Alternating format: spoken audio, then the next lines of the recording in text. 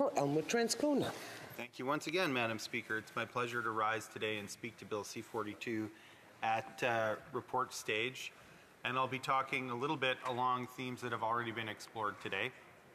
I think one of the reasons why a public beneficial ownership registry is so important is because Canada notoriously is losing tens of billions of dollars in tax revenue every year as a result of uh, tax havens where Canadian corporations are able to declare their revenue in other jurisdictions and then either bring that money back into the country or not without paying any further tax. So what that means is that despite the fact that they're doing their business and raising their revenue here in Canada, they're finding ways out of paying their fair share, both for from a more general point of view and paying into general revenue that then go for paying uh, for things like the Canada Health Transfer and other important uh, sources of funding that ensure Canadians have access to health care and education and other important services that they depend upon. Uh, but also because these companies are making use of a fair amount of Canadian infrastructure that Canadians pay for through the through the public purse in order to create the profits that they're getting, and it's only right that they pay their fair share. And if you look at the share of uh, government revenue that comes from business and corporate tax over the last number of decades, that share has been decreasing considerably against the share that working Canadians are paying. And so you do end up in a difficult situation that's not financially tenable where corporate Canada is no longer paying as much of the bill as it used to for government services. And so one of the tools to be able to do that is to be able to better define the extent to which tax revenue is being uh, avoided or escaped by corporate players in Canada. And part of that puzzle is um, lifting the veil of secrecy that so often uh, covers over various kinds of business arrangements and makes it hard to tell who needs to be held to account for the uh, practices of their business. And that veil of secrecy is not something that, even though I think it's an interesting idea to have a global minimum tax, which is not to say that that means Canada has to have a minimum corporate tax. We have a lot of other competitive advantages that I think make us an attractive place for investment, and Canada shouldn't self, sell itself short in that regard. Uh, nevertheless, even if we did have a world minimum corporate tax, it's not going to address the issues of secrecy that I think a public beneficial ownership registry uh, rightly addresses. Um, but I think it's also important to say that in the current context and over the course of the last year or so, the arguments for a beneficial public ownership registry have become even more urgent. Because there's another side to the story. When I talk about the veil of secrecy in respect to, uh, you know, corporate actors and ensuring that they're paying their fair share. That's just one part of the story. We also know that there are malignant actors um, uh, that aren't just uh, getting out of paying their fair share of taxes, but who are doing far more. And I think of some of the Russian oligarchs that are known to be uh, close associates of Vladimir Putin, who's currently waging an illegal and unjust war in Ukraine. Um, and Canada, unfortunately, is one of the places where they've seen fit to stash some of their cash and their assets. And in order to be able to properly enforce sanctions against people like that, we have to lift the veil of secrecy around corporate ownership because those are the spaces where these kinds of folks are hiding.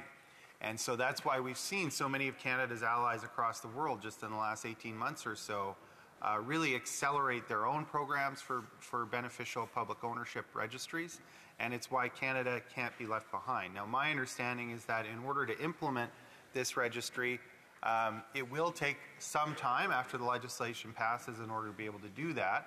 And that's why I believe it's important this legislation pass before we break for the summer, because that gives about six months to the end of the year for officials to, with a legislative mandate from Parliament, begin to put this registry into effect.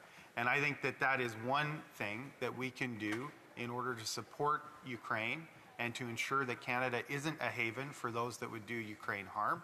It's why I think this has to pass uh, with, with urgency. And I take some of the points that were made earlier in debate about the imperfections of process at uh, committee.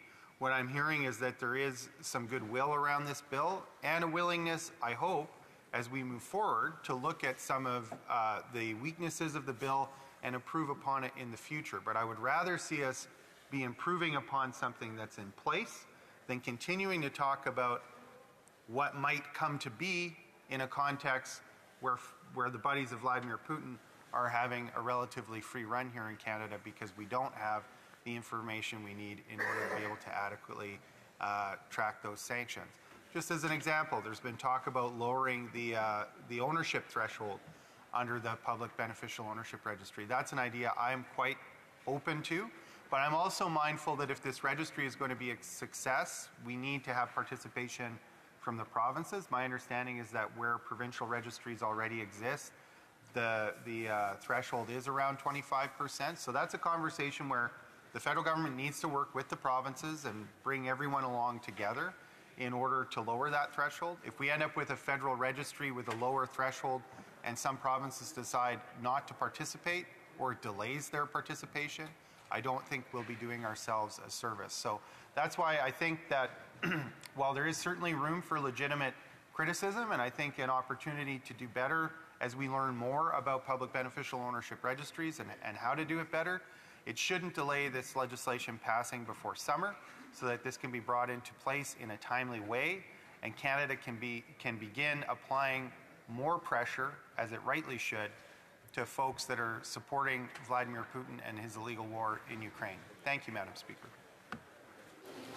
Questions and comments? Questions et commentaires. The honourable member for uh, the honourable Parliament Secretary to the Minister of Health. No, no questions. Okay. The honourable member for Mission Matsqui Fraser Canyon. Thank you, Madam Speaker, and thank you to the member from Winnipeg for his speech today. Uh, I'd like to understand why the um, the, the, rationale behind uh, lowering the significant threshold from 25 to 10 percent. Indeed, the New Democratic Party uh, supported this amendment after hearing testimony um, uh, during, during, the uh, during the debate at committee about why Canada should be a leader in money laundering by adopting a more progressive threshold, which was outlined by the RCMP. Thank you, Madam Speaker. The honourable member for Elmwood Transcona.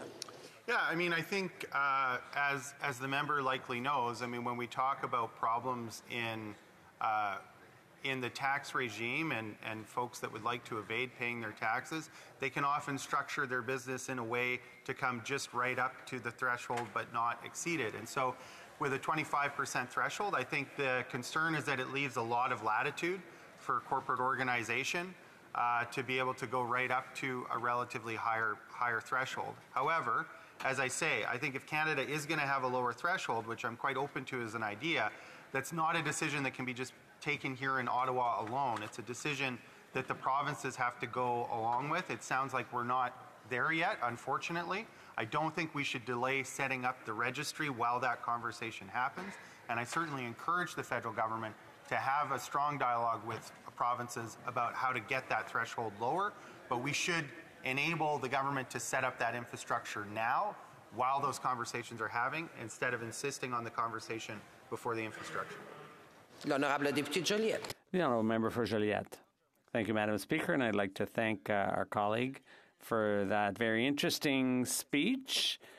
Uh, I'd like to piggyback on the last question and the idea that Canada could become a leader in the fight against tax evasion. Uh, and we need a revolution here.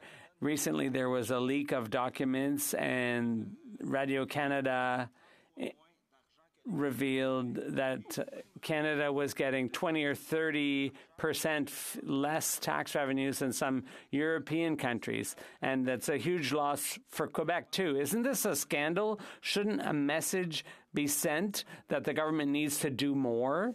The Honourable Member for Elmwood Transcona. Thank you very much for that question.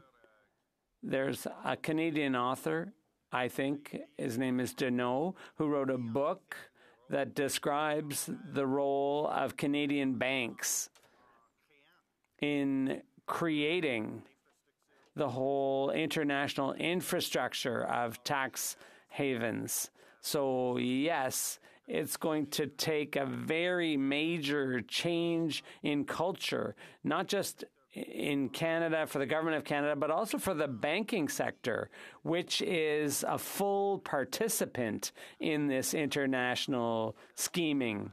So we have a lot of work to do to change our thinking on this and to see to it that Canada is no longer playing this role and that Canada is no longer a place where you can't get justice and so that accountants make sure so that companies pay their fair share, not just Canadian workers who pay their fair share of taxes. Some comments.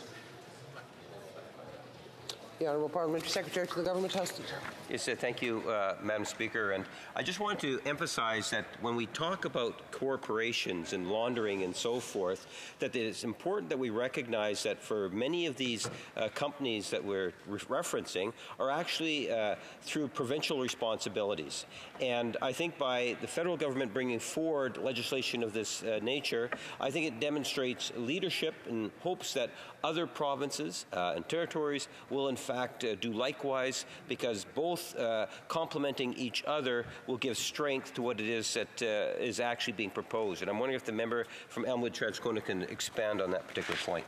The Honourable Member for Elmwood Transcona. This is certainly an area for federal and provincial uh, cooperation. And as I said before, I think what's important is that we create the legislative mandate for the federal government to move forward as expeditiously as possible and that the government take into very serious consideration, I think, a lot of the, the constructive feedback that have been offered uh, already in the in, in the course of this debate. They take that into their conversations with the provinces so that we can build the best possible uh, public beneficial ownership registry. I think what we have in the legislation now is good.